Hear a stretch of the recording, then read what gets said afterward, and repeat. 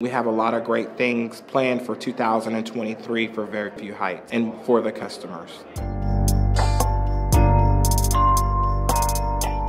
My first name is Douglas. My last name is Mans the second. My position at Rent One right now is I'm a store manager. I started out as a assistant manager in the cooking industry. I came to Rent One. One evening I was just sitting on the couch, you know, popped up for CRS and an assistant, so I put in for both. I got an interview and I went in for the interview. Within two weeks of being with the company, I became the store manager over at the Fairview Heights location. And it's all because I remembered a little jingle, you know, um, some people are just very excited about getting that big screen TV with us at Rent One. They're part of our Rent One family. And when people come and rent in my store, I try to give them a little information about me just so I can get a little information from them. So therefore that makes them feel like, you know, they're, they're more like family. Because once you uh, sign your agreement with us, to me, you're part of our Rent One family. You've just become a family member. Uh, and how we try to give back is we'll take goodie bags out to out through the community to people that may have paid off at the time with candy and whatnot. We just done some for Valentine's Day. I will see Fairview at two and a half million dollar store in a couple of years from now.